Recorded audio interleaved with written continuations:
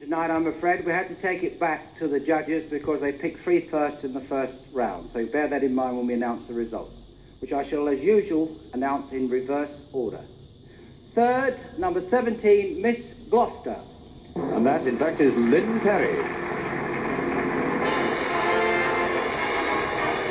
And Lynn steps up to receive a check of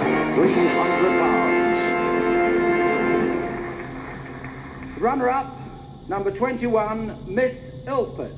And that's Vivian Lewis Farnan. Vivian receives a check for £400 as runner-up. And Miss England 1978 is number two, Miss Blackburn. The girl with the short hair, Beverley Isherwood.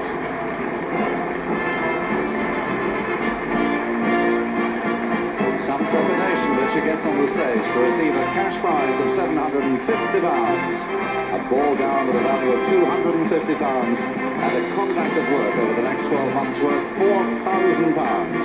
She goes straight into the Miss Universe contest in Mexico in July, and of course into the Miss United Kingdom contest in Blackpool in September.